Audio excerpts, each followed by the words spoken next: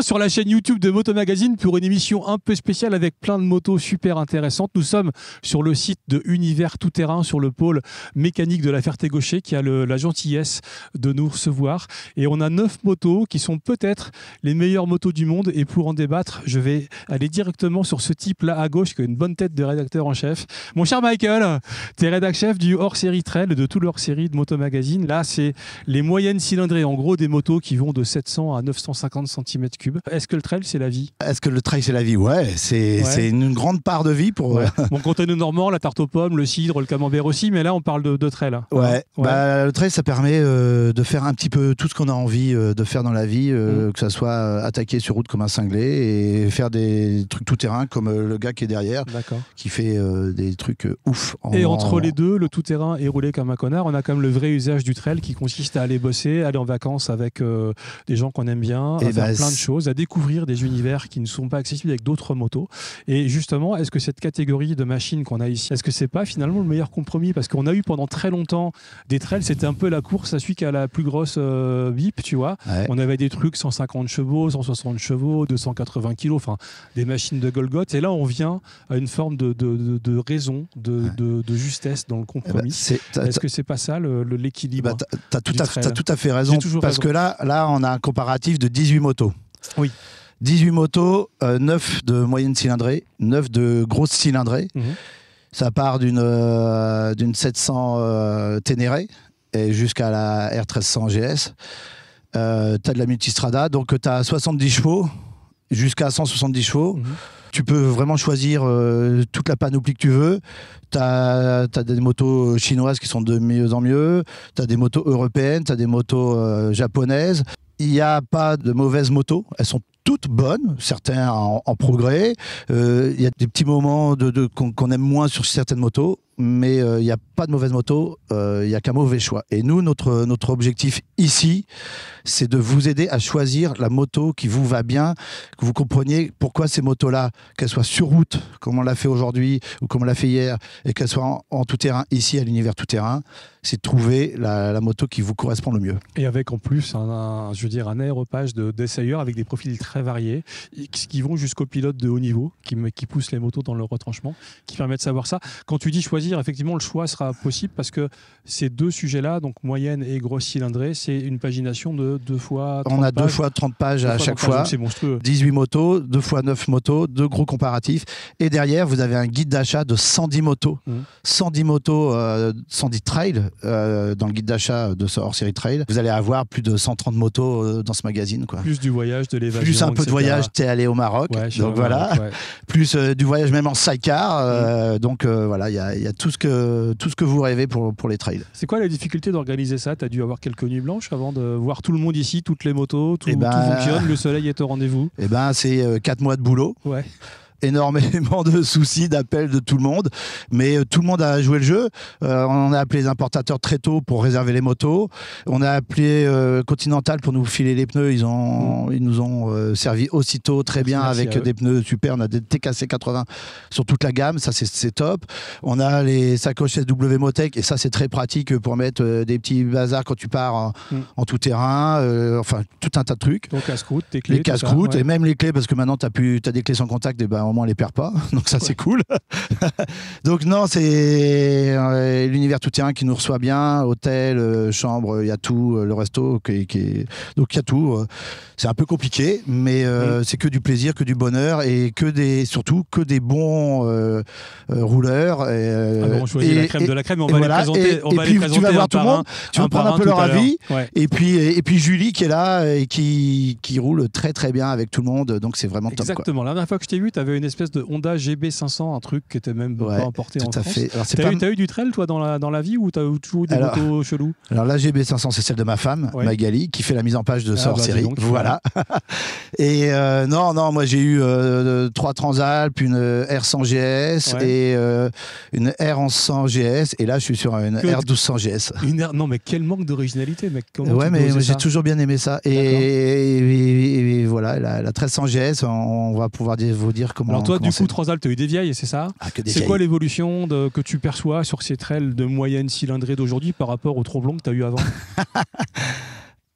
bah, tout, tout, tout. Alors, on, on peut rouler avec n'importe quelle moto, des vieilles motos et Mm. tout. Mais aujourd'hui, elles ont des facilités, des, des, des assistances électroniques, des trucs, euh, des fois euh, énormes, avec beaucoup d'assistantes, beaucoup, des fois beaucoup moins, plus simple, ce qui est très, très facile, très sympa. Pour parler de la Transalp, euh, c'est exactement l'esprit d'une Transalp, mais elle a gagné deux fois plus de puissance. Oui. Donc, euh, Mais avant une Transalp, ça c'est se traînait. Bah, avant, ça se traînait quand même beaucoup. Ouais, maintenant, ça prend 150 en troisième et c'est plus pareil. Ah ouais, ça, ça lève en deuxième et, Ouais. tu rigoles quoi. Ouais. Donc euh, encore une fois, de la Transalp à la, à la 1300 GS, euh, il y a tout pour se faire plaisir. Quoi. Merci Michael, il faut soutenir la presse parce que c'est énormément de travail tout ça. Donc on achète le hors-série de Motomag, on achète les autres numéros de Motomag. Ça nous permet de rester digne et de continuer à faire ces sujets gigantesques, etc. Philippe, toi tu roules en Africa Twin, on est super content.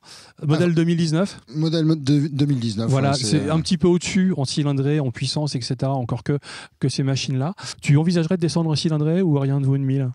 Bah, J'envisagerais de descendre en cylindrée, mais pour plus de simplicité. euh, je trouve que certaines, euh, certaines motos, comme euh, la Ducati ou, ou d'autres, sont, euh, deviennent euh, un petit peu comme les grosses cylindrées, euh, Mm. c'est-à-dire bardées d'électronique, hyper compliquées. Super cher. Et pour moi, un trail, super cher en Ouais. plus. Pour moi, un trail, c'est euh, une moto simple. Et, euh, et c'est vrai que l'Africa Twin 2019, Oui, euh, en boîte manuelle. en boîte manuelle, c'est Ouais. une moto simple, il n'y a pas trop d'électronique, Ouais, ça t'as pas le reste raisonnable. chelou, t'as pas le Voilà. Komodo, tout C'est ça, tu ouais. mets pas deux heures pour, pour régler quelque chose.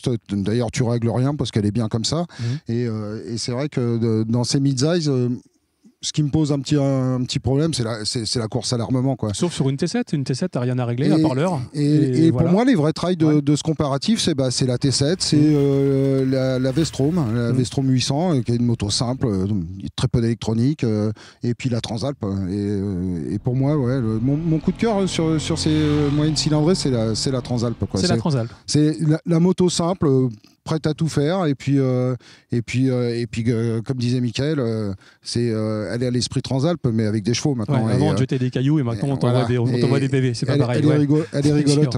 Je trouve juste dommage qu'on lui ait pas donné la gueule de, de, de la 1000 et de la 1100. Quoi. Ça, Ouais.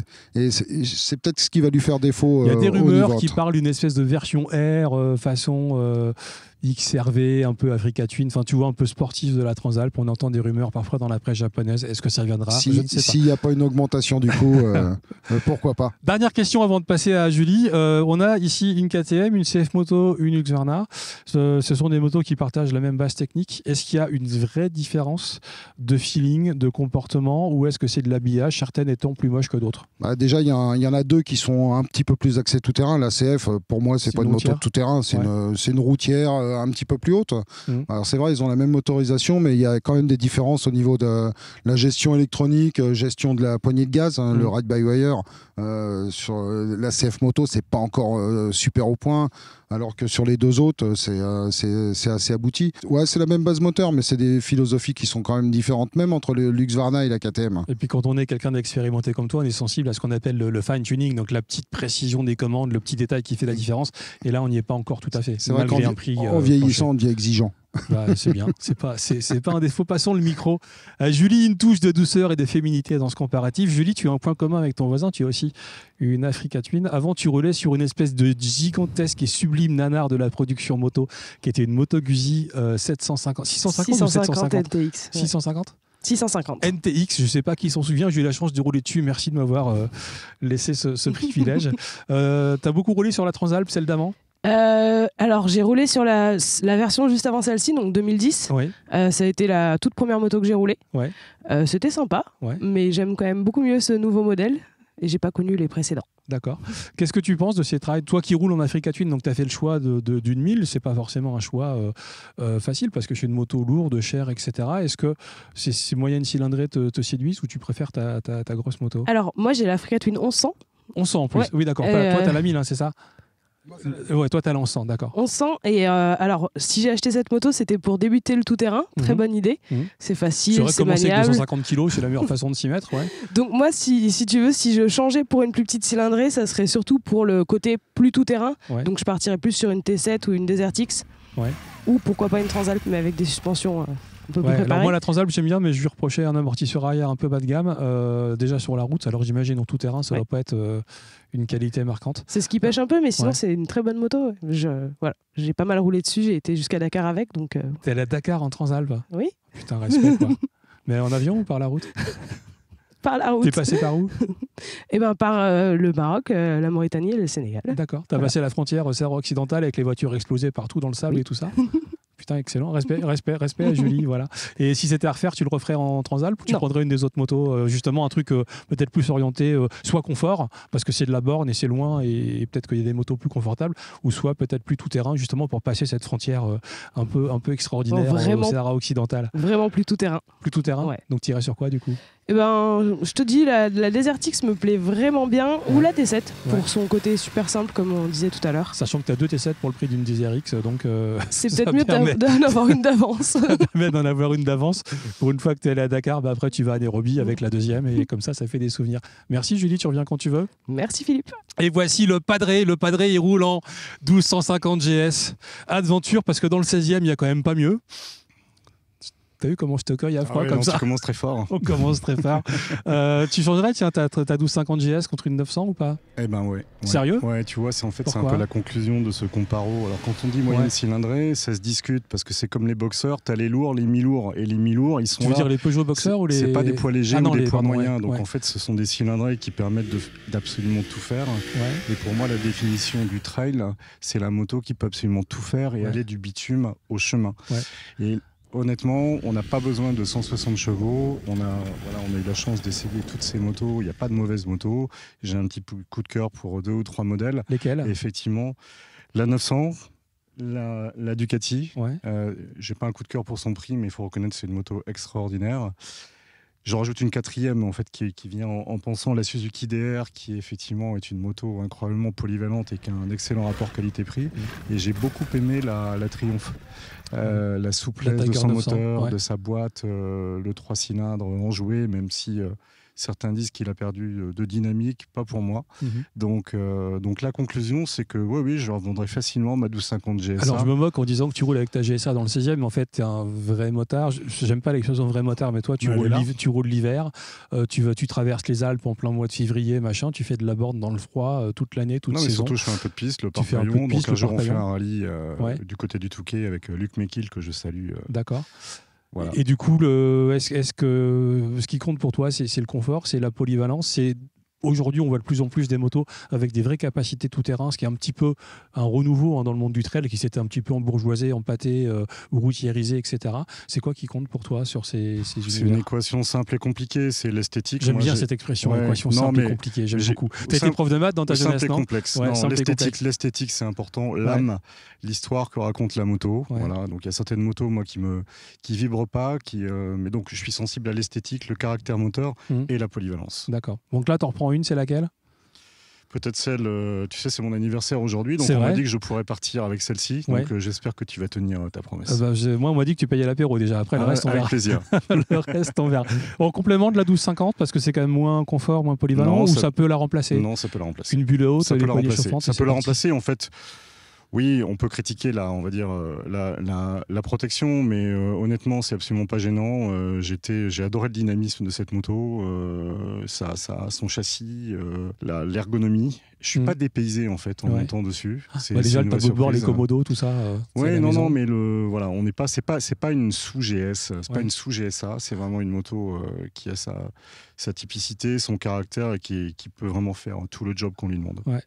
Merci, euh, Padré. On passe à. Laurent. Laurent, autre point commun avec tes amis. Tu roules aussi en Africa Twin, décidément qu'elle manque d'originalité. Mais avant, tu avais une Ténéré 700. Pourquoi tu as acheté une Ténéré 700 Je l'ai euh, adorée quand elle Ouais, est sortie, celle-ci. Euh, je, je la voulais absolument. Euh, je Parce qu'elle suis- était belle, parce que tu en avais besoin, parce que, pour tout ce qu'elle tu avais 10 000 balles en représente. trop sur ton pour PEL. tout ce qu'elle Ouais. représente. C'est une moto qui est capable de tout faire. C'est ce qu'on demande à un trail.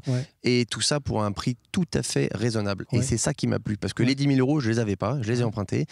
Mais pour celle-ci, oui. D'accord. Voilà. Et je l'ai vendue récemment pour une Africa Twin 1000 de 2016. Et pourquoi une Africa Twin, du coup?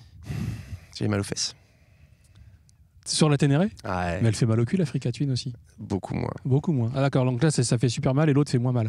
C'est ça. Ouais, on parle pas de confort. Mais euh, j'ai pas regretté. hein. Ça Ouais. a vraiment été une moto formidable. Ouais. Euh, je l'ai défendu euh, des tas de fois devant beaucoup de monde. Pourquoi? Mais Qu'est-ce qu'on lui reprochait? Ah bah euh, parfois euh, on peut tout reprocher à toutes les motos. hein. Hein, par exemple, Michael l'a très bien dit tout à l'heure. Ici, il y a que des bonnes motos Ouais. et ça dépend uniquement de ce que l'on veut en faire. Mhm. Euh, je sais que pour ce que moi je voulais en faire, elle, elle a été parfaite pendant trois ans jusqu'à ce que mon coccyx décide que Mhm. c'était fini et, et- et j'ai pris une selle un peu plus molle. Maintenant, tu es sur la. C'est une 1000 ou on sent que tu as c'est une La 1000, La 1000. 2016. Tu reviendrais en arrière sur des moyennes cylindrées maintenant que tu as pu goûter, par exemple, tu vois, euh, parce que là, tu as le même niveau de puissance dans, dans la BM et moins de poids euh, que sur une Africa Twin. C'est pareil sur les, les, les KTM et assimilés, c'est pareil sur la Ducati. Enfin, tu vois, les moyennes cylindrées, euh, enfin, moyennes, 800, 900, etc., tu as quand même un niveau de prestation. Je étonnant. redescendrai sans aucune difficulté. Sur quoi Parce que euh, les motos, euh, même euh, de plus petites cylindrées, ont des moteurs qu'on- qu'on- qu'on- qui sont musclés, Mm. qui, qui en veulent. Il y a du peps. Mm. La- L'Africa Twin, elle est très puissante, elle est coupleuse, mais ça n'a rien à voir. Elle n'est pas explosive. Mm. hein. En tout cas, je parle de la 1000. Sur les plus petites cylindrées, il y a des motos qui sont extraordinaires. Et pour des tarifs qui sont hyper raisonnables, euh, parce que finalement, euh, on le disait aussi, hein, on n'a pas besoin d'avoir des motos qui font 200 chevaux pour, euh, pour euh, aller sur l'autoroute ou faire du chemin ou aller au travail. Oh, une Versys H2, ça serait quand même sympa. Non, mais on en, on en parlera avec, euh, avec le, le neveu de Michel Fourniret. Ton coup de cœur ici, là, c'est c'est quoi? Euh, c'est hyper difficile à Ouais, dire. mais justement, j'adore les C'est questions hyper difficiles. difficile à dire parce que euh, il y en a plein que j'adore, euh, mais après ça dépend du contexte. Ouais. Si on va vraiment dans les chemins, je prendrai la T7. Si on va un peu plus sur la route, je vais avoir une préférence pour le, la Suzuki, euh, le petit V-Strom qui est vraiment excellent sur la route. Je kiffe son moteur. Euh, et ensuite, euh, la petite KTM là-bas aussi m'a beaucoup plu, mais je l'ai pas encore essayé dans les chemins. Ça dépend de ce que je vais en faire. Est-ce qu'il n'existait pas des selles adaptables pour les T7 Plutôt que de changer de moto, tu changes de selle, c'est moins cher, non? Mais en fait, comme tous les motards, on aime bien changer au bout d'un moment. D'accord. Trois ans sur une bécane, c'est bien. Ah, ton voisin les garde plus longtemps, les motos. On va en parler, tiens, vas-y. Vas-y, merci Laurent. Son surnom, c'est Casimir parce que son vrai prénom est tellement impossible à prononcer qu'on va pas vous le, vous le dévoiler. Euh, Olive, ton, en vrai, euh, toi aussi tu roules, hein, devinez. En Africa Twin, t'as aussi, t'as aussi une speed triple hein, avec les Oui. deux phares ronds, Oui. 1050. Euh, alors quand tu étais jeune, moi je te connais depuis que tu as des, des culottes courtes et tout ça, tu, tu rêvais d'une 500 XT. Tu Oui. m'as cassé les, les, les nougats avec ça en disant ouais, je veux une 500 XT que tu n'as jamais acheté. Jamais essayé. Vu comment tu roules, tu as bien fait de te le piston dans la gueule en 3 secondes. Ça au Ouais, moins c'est réglé. C'est possible aussi. Ouais, c'est pas possible, c'est sûr. L'Africa, toi, c'est une 1000. Ouais, DCT, voilà. Tu passerais à une cylindrée inférieure ou la- Alors dé- dé- déjà, toi, t'aimes bien le DCT parce que tu as t'as des petits soucis ergonomiques qui font que cette, ce système de boîte de vitesse te facilite la vie. Puis pour les balades, Voilà. euh, c'est pratique. Une petite balade en DCT. Baladable à fond, c'est ça Non, une balade euh, bucolique. Bucolique à bloc, rupteur. Euh, tu, tu passerais sur une cylindrée. Qu'est-ce qui t'a plu ici sur ces motos? Euh, la légèreté. euh, C'est vrai que l'Africa est lourde, hein, c'est un de ses défauts. Ouais, quand même. Ouais. ouais. Euh, la légèreté, le- les moteurs qui sont sympas aujourd'hui avec bah, la même puissance que mon Africa Twin, finalement, même légèrement au-dessus. Oui, quand tu parles sur les KTM ou sur ça, ouais. Oui, la Ducati notamment, je trouve euh, vraiment très belle. Et puis, bah, je reste branché sur le Vestrom, enfin le, oui, le, le Vestrom 800. Je trouve que c'est un super rapport qualité-prix avec euh, une moto qui est hyper polyvalente. Moi, je fais pas de chemin du tout, Mhm. donc c'est vraiment euh, une moto pour faire de la route essentiellement. Et la Vestrom, euh, vraiment, euh, déjà l'année dernière, je l'avais découverte, et là, encore une fois, euh, Oui, parce que tu étais avec nous sur le Comparo Trail de l'été dernier avec les Vestrom euh, 800, 1050 C'est et ça, Transalp et Africa Twin. Mm. Et on avait fait gagner la 800 parce que c'était un, compromis avec un châssis absolument étonnant. Ouais. D'accord. Tu as une déception dans ces machines-là? Une déception, ah, j'ai pas accroché sur euh, la chinoise là-bas. La CF Moto J'ai pas accroché. La Transalp, déjà l'année dernière, m'avait pas emballé. Donc euh, cette année encore, euh, bon voilà. je- Par contre, le F900 m'a vraiment beaucoup plu. Mhm. La Ducati m'a beaucoup plu. Et puis, et puis la Vestrom. Mhm. Voilà, D'accord. le, le trio pour moi. Ok. Et la 500 XT, toujours pas Non, je crois qu'on va abandonner ça. On va abandonner ça a ça. mal se terminer. Donc, D'accord. non. Très bien, on passe le micro à- au neveu de, de Michel Fourniret qui nous vient comme toi du fond des Ardennes. Ce mec-là est intéressant parce qu'il roulait en KTM 1290 Super Adventure. Puis il m'a dit ça roule vraiment trop vite, faut que je me calme. Depuis, il roule en S1000 XR, personne n'a compris. Mais, mais en tout cas, en tout cas, c'est son parcours. Euh, toi, tu as, eu, euh, t'as fait de l'enduro, tu as eu euh, des Ouais. super motards, tu as eu plein de motos, plein de trails. Qu'est-ce que tu penses justement de, de ces machines, encore une fois, de moyenne le, terme est un peu galvaudé, mais on a, on- il existe beaucoup plus gros, beaucoup plus puissant, donc on va les qualifier de moyenne cylindrée. C'est, est-ce qu'on n'est pas sur une forme d'aboutissement finalement? Ben, en fait, euh, ouais. C'est c'est que déjà, on a franchi un pas, un gap par rapport à il y a 15 ou 20 ans. Euh, Elles sont toutes bien, elles tartinent tous. Il n'y a pas, il y a pas d'étron, en fait. Il n'y a pas de mauvaises motos. Il y aura de mauvais achats. Ouais. Je pense que euh, les lecteurs de Motomag, quand ils auront lu leur Quand ils auront lu les 60 pages écrites, Exactement, euh, et, écrites par l'équipe, voilà, et j'espère qu'ils pourront faire leur choix. Parce que de définir une mauvaise moto ou une bonne moto, c'est assez difficile. Il y en a des très belles comme cette Ducati, qui est quand même assez efficace, qui a 110 bourrins. Bon, le tarif, ça pique un peu, 22 000 euros. Donc, mais bon, elle est sublime. Et puis euh, la DR800 est quand même bien, mais elles sont toutes bien en fait. La T7, euh, la BM, la F900, c'est en, mode dynamique, elle, elle arrache bien. Bon, évidemment, on était sur une enclave allemande encore. C'est Mm. beaucoup d'enclave allemande Ouais, encore ouais, en France. Bah, ils sont Voilà, passés, ils ont passé Seine-et-Marne. souvent, hein, donc euh, La. Norden, après, c'est une question de choix perso, en fait, de goût. Euh, Mm. Voilà, euh, les, comme on dit, les goûts, les couleurs sont, sont tous dans la nature. bah, les motos, c'est un petit peu pareil, quoi. Donc, difficile, nous, de arbitrairement de dire, ah, celle-là, c'est la meilleure. Ouais. On peut pas se permettre. Mais bon, voilà, après, elles sont, elles sont toutes bien. Et puis, hier, on a vu que on pouvait mettre du bon rythme euh, sans se mettre en danger et en roulant vite, alors que peut-être euh, 25 ans avec mon T1000R, euh, c'est pas sûr que j'aurais roulé aussi vite. Ah, mais ça c'est même une certitude. en voilà, fait. c'est même sûr et certain. même- Les motos, les châssis, euh, bah, ça Ouais. bouge pas, tu mets gaz, ça passe, euh, ça freine. euh, Bon, il y a de l'électronique aussi qui aide beaucoup. hein. Les pneumatiques ont vachement progressé. Les suspensions, il n'y a pas de mauvaise bécane. Quoi. Mm. Ton coup de cœur euh, ici? Voilà, Ducat. Pour la gueule, le moteur, euh, Ouais. voilà, le coup de cœur. Puis tu revends la S1000 la S1000 XR, tu prends un crédit, tu peux te l'offrir. Euh, ouais, ouais, ouais, ouais, ouais, ou je vends la, la S1000 XR et ma RC8 et j'ai la Ducat. Quoi. Ah oui, t'as encore ta RC8 Ouais, ouais, je suis ma RC8 encore. Mais celle qui fait 145 décibels, c'est ça Ouais, non, non, non, j'ai changé, j'ai mis le pot, d'origine. Elle est à 100 décibels. Elle est à 100 décibels, c'est vachement mieux. Faut que tu la vendes, tu t'en sers pas Non, si, je roule un petit peu avec, Ah, tu roules un peu avec Ouais. D'accord. de temps en temps. Voilà, très bien. On passe à Gunther? En bon allemand, Gunther n'a pas une mais deux BMW. Il a une Philippe. R1100 GS et une R1100S. Ouais. Euh, mais en fait, euh, il n'y a pas que les gros cubes dans la vie, euh, Gunther.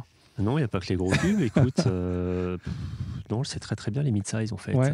Enfin, moi, c'est des, des machines que j'aime bien parce que on a toujours l'aventure en ligne de mire avec ces motos-là. Mm. C'est-à-dire que tu peux faire évidemment du quotidien, mais tu sais aussi que tu peux les emmener en dehors, sur le terrain, euh, en voyage, sortir de la route, et c'est ça qui est bien. En fait. Parce que toi, en plus, tu es du genre à partir au fond d'une montagne, à prendre un sentier et à te poser pendant trois jours pour réfléchir au sens de la vie C'est ça, euh, À et, et à la folie, et à la folie de Et la civilisation urbaine c'est ça et du management à la parisienne aussi. aussi. Et, et du coup, laquelle de ces motos euh, Tiens, toi, toi qui as, eu beaucoup de BM, qui a toujours des BM, que penses-tu de cette F900 GS en fait? Quand elle est sortie, effectivement, on l'a, on l'a essayé. euh, ça a été une- une- un peu une révélation, en fait, parce que c'est un retour aux, sources de l'AGS Mm. en tant que machine euh, adaptée vraiment au tout-terrain. C'est une machine qui est très capable en off-road, très facile de prise en main, Mm. qui est effectivement performante au moteur, qui a une électronique qui est aussi assez euh, facile à paramétrer, puisque chaque mode va paramétrer la machine complètement, en fait. euh, donc c'est, euh, les suspensions sont aussi euh, différenciées de, de l'électronique, ça c'est bien, on peut vraiment faire son réglage à sa main. Mm. Mais par contre, tout le reste, les assistances, tout ça, c'est tout de suite paramétré, c'est cool. Donc ça, c'est assez rapide. C'est une, une moto qui, euh, qui permet de faire à la fois de la route, bon, moins confortablement qu'une 1300 GS, Bien ça c'est clair. Mais euh, par contre, c'est vrai qu'en tout terrain, c'est super facile. Quoi. Ouais. Ah, ça reste moins précis que d'autres, hein, c'est clair. La 900 GS Ouais, il y a mieux que la 900 GS pour ça. Vous avez quoi par exemple?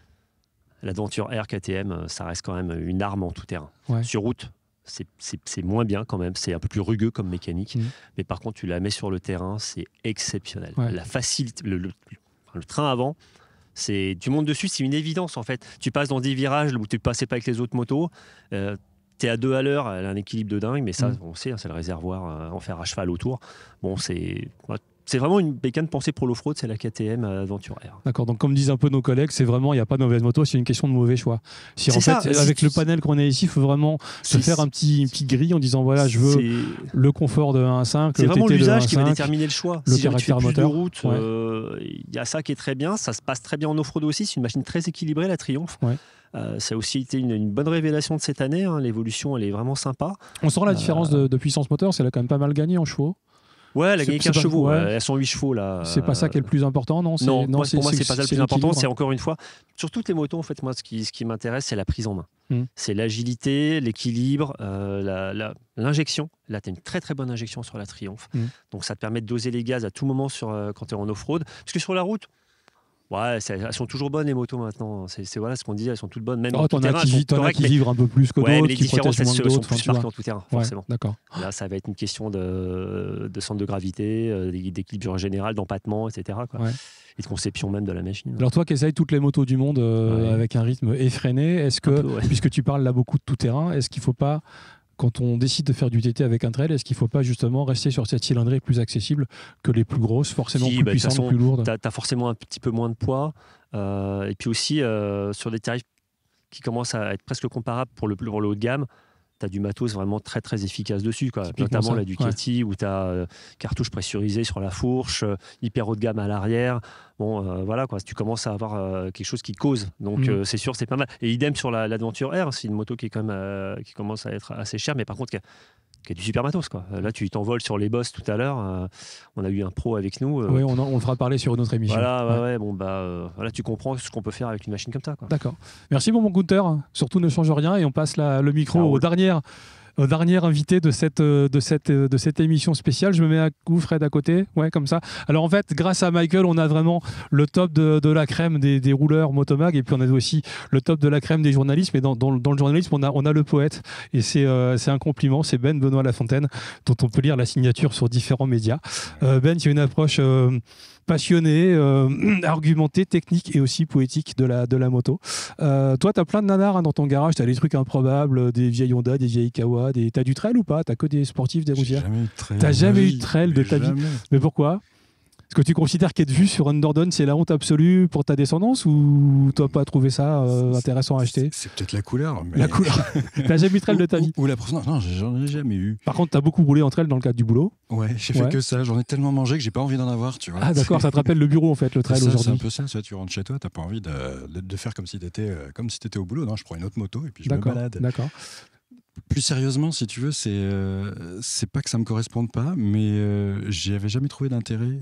Ou alors c'est vraiment euh, la balade. Mais toi, tu roules beaucoup, donc le- pour, le, pour, le, pour la balade, il y a un niveau de confort et de facilité, notamment quand les conditions en termes de pluie, de météo, de soie sont difficiles. Le trail reste une machine peut-être plus facile que les autres motos. Mais Je trouve pas, tant que ça, facilité, ouais, c'est pas forcément une question de facilité pour moi. Ouais. Je cherche pas la facilité dans la vie, je sinon je vois. serais pas journaliste moto, hein, comme chacun le sait. tu sais, Oui.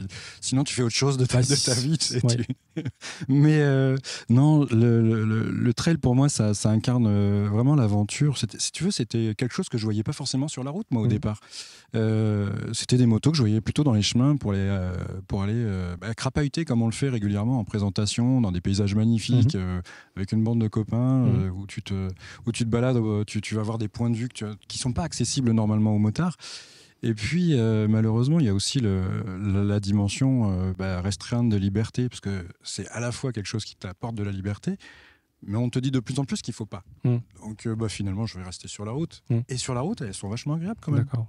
100 chevaux pour la plupart d'entre elles, des suspensions sophistiquées, des freins radio. On est quand même sur des perfs. Toi, toi qui as des, des- des motos un, un peu anciennes pour certaines, Mhm. voire un peu sportives, on est sur des perfs qui te permettent de rouler plus vite avec ça qu'avec euh, qu'avec des motos qui ont 10-15 ans, qui étaient supposément plus performantes. Ça dépend, ça dépend de ton style, ça Ouais. va dépendre de ce que tu attends aussi euh, et de ce que tu en fais. Aujourd'hui, tu as énormément d'électronique sur les motos. Euh, ça n'a jamais été mon truc. C'est pas, euh, c'est pas une critique. C'est super bien l'électronique. faut arriver à les gérer comme il faut. Mm. faut arriver à en, à en faire quelque chose. Et c'est surtout, je pense, ce qui va te permettre de faire un choix aujourd'hui. Ça va être comment tu te sens avec l'électronique. Est-ce qu'elle te le permet de faire? Est-ce que tu as envie d'avoir ça? Et comment tu désactives rapidement pour te retrouver? Bah, voilà, Toi, t'as envie, toi, toi l'électronique, tu la désactives plutôt. Je la mets soit au minimum, soit Ouais, je la Parce désactive. que tout à l'heure, on a quand même eu des sous-bois avec des, du bitume chelou, ça glissouille un peu de l'arrière quand même euh, sur certaines motos, Ouais, tu c'est vois. pour ça qu'on a inventé les bons pneus, tu vois. Oui, c'est vrai, mais ça glissouillait quand même avec des bons pneus. Ouais, ça glisse, oui, et bah écoute, euh, comme ça tu, tu rends un peu la main, puis tu, roules, tu roules différemment. Par contre, je dois avouer que là, ce, ce comparo, ça, ça te permet vraiment d'avoir un panel complet de, de tout Mm. ce qui se fait de, de mieux, on va dire, dans l'univers du trail. Euh, c'est super agréable. Ces cylindrés-là, je les trouve euh, vraiment idéales. Sur cette, euh, cette série de moyennes cylindrées, un coup de cœur, une déception? Un coup de cœur. Là, tu me poses une colle. Oui, j'aime bien poser des colles. ouais, ouais, ouais, ouais, Ouais. mais Est-ce que j'ai un cœur encore? Ouais, je dois encore Oui, en avoir un, oui, mais mais bien sûr. Vers quoi ça Esthétiquement, la. Ducati, elle te, elle te met une claque. Ouais. Elle te met une claque. Si vraiment tu, tu cherches une, une moto lookée euh, sans, sans te Ah bah, préoccuper ça de la rappelle les Cagiva du Dakar des années tu 90, la, tu vois. regardes, tu la regardes sous tous les angles. Il y a un Mm. truc sympa à, Mm. se mettre, à se mettre sous l'œil. Par contre, tu te reprends une deuxième claque quand tu regardes le, quand tu regardes le tarif et que tu Mm. dois signer ton chèque. Donc Mhm. tu vas regarder autre chose. Euh, tu te dis, bah, finalement, une Ténéré, ça fait pareil. Mm. Et puis, euh, entre les deux, bah, tu vas choisir un, un truc qui se, je trouve entre les deux. Alors, je sais pas trop ce qu'il y a. Il y a des. Bah, une F900 GS, hein, si on est sur la partie TT ou une KTM. Ouais, alors la F900 GS, pour moi, c'est c'est pratiquement la meilleure de ce comparo. Ouais. La plus homogène, celle qui permet de faire le plus de, le plus de choses. Euh, c'est pas la moins chère. C'est pas la moins chère. Donc mais tu bon. sais que je roule qu'avec des vieux nanars, donc euh, parce que c'est des trucs à moins de, à moins de, oui, 1000 euros Ouais, généralement. une bonne F650 GS un peu ratonnée, Voilà, un ça doit truc, voilà, ça doit encore se faire. Vous me verrez plus là-dessus, tu vois, sur ce que je peux m'offrir. je- Parce que, Très bien. parce que c'est des motos qui font rêver. Ouais. Euh, ça veut pas dire que c'est inaccessible. Tout le monde l'a démontré là. Et après, c'est à chacun de se mettre euh, bah, à portée de son rêve. Quoi. Eh ben merci chacun de se mettre à portée de son rêve. Quand je vous disais que Ben était un poète, merci pour cette euh, phrase de conclusion. Mettez-vous à la portée de vos rêves. Il n'y a pas de mauvaise moto, il y a que des mauvais choix. Il y a que des mauvais cahiers des charges. Pour le reste, elles sont cool, y compris une F650 GS ratonnée que tu vas toucher à moins de 1000 euros et qui te permettra d'aller euh, visiter des paysages incroyables. Merci à Michael pour cette gigantesque organisation qui n'est pas finie parce qu'il y a encore neuf autres motos de plus gros cylindrées dont on va parler. Merci à notre pilote invité, Koutsi, dont on parlera notamment pour la partie tout-terrain un peu hardcore. Merci à la crème des, rouleurs de Moto Magazine. Merci à Julie, la fille qui était avec nous. Merci à l'élite du journalisme moto ici présent à ma droite. Et merci surtout à Fred. Comment il s'appelle Fred? Fred à la technique, Fred à la technique et Milan de l'autre côté qui est là. Évidemment, on achète euh, le hors-série trail de Moto Magazine et puis toutes les publications Motomag. Euh, on est prudent entre elles comme sur autre chose. Bisous sur le casque et à très bientôt sur la chaîne YouTube de Moto Magazine. 4 jours de boulot, 18 motos sur ce site de Univers Tout Terrain.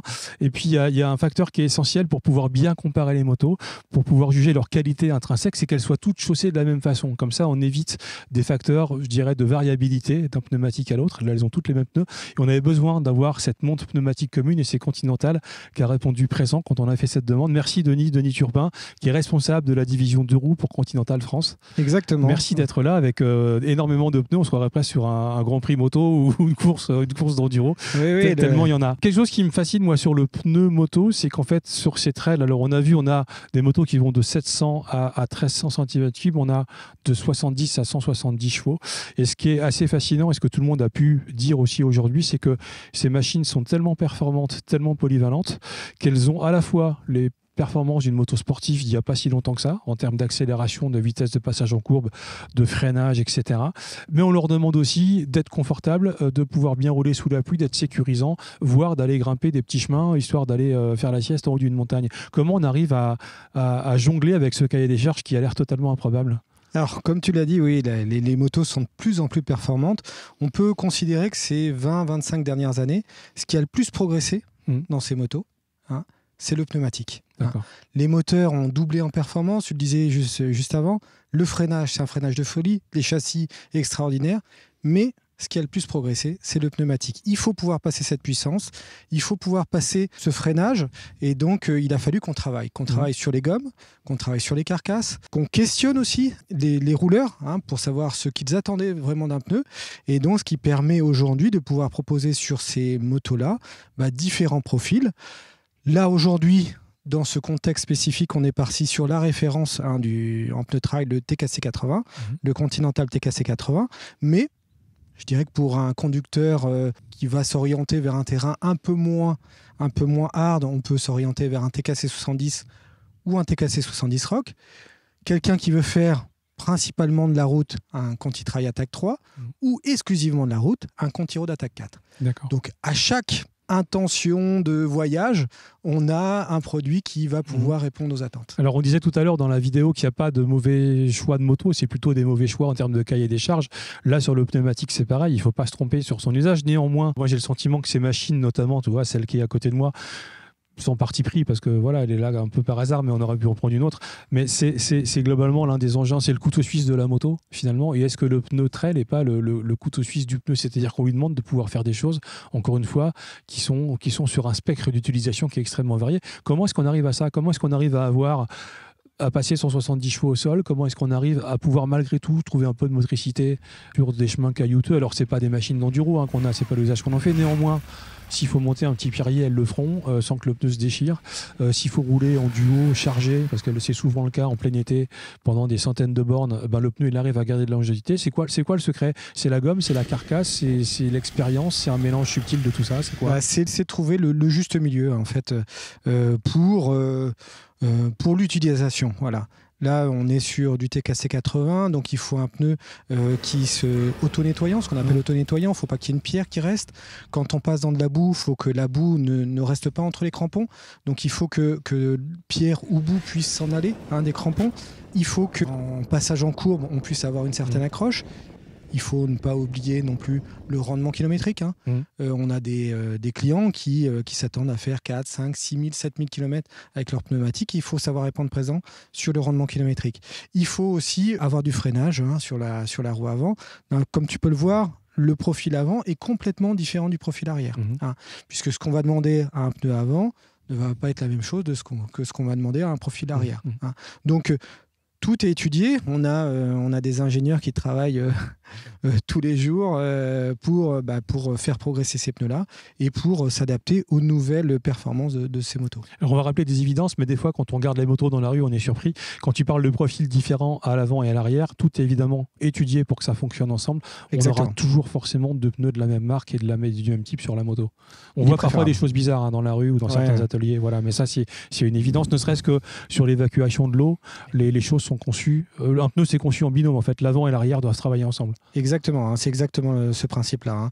Euh, L'avant dirige, l'arrière pousse la moto. Voilà, donc l'avant, en cas de pluie, va écarter l'eau sur la route. L'arrière doit avoir un maximum de motricité. Donc, je dirais deux positions différentes sur la moto. Euh, deux, deux solutions, euh, deux solutions différentes. D'accord, donc ça, c'est pas forcément souhaitable. hein.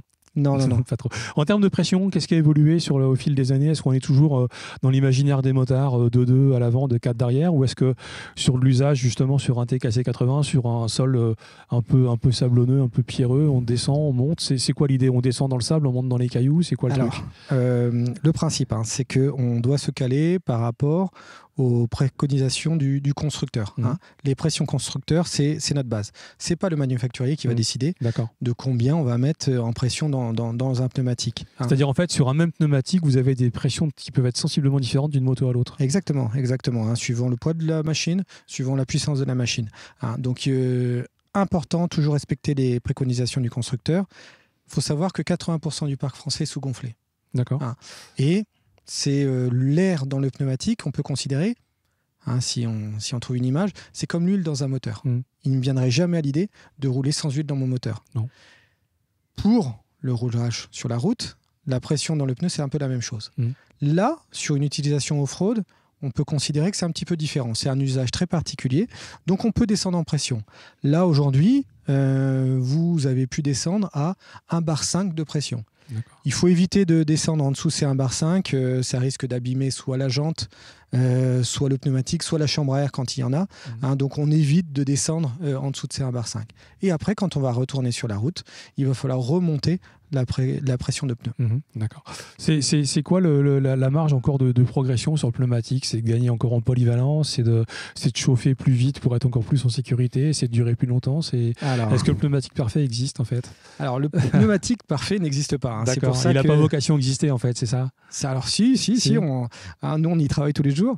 Euh, mais en fait, le pneumatique euh, parfait n'existe pas, puisque euh, il faudrait avoir un pneumatique qui soit aussi à l'aise sur route, sur Mhm. circuit, Mhm. en off-road, Mhm. sous la pluie. Donc ça, ça n'existe pas. hein. Par contre, on peut essayer de trouver le pneu parfait pour une utilisation bien précise. hein.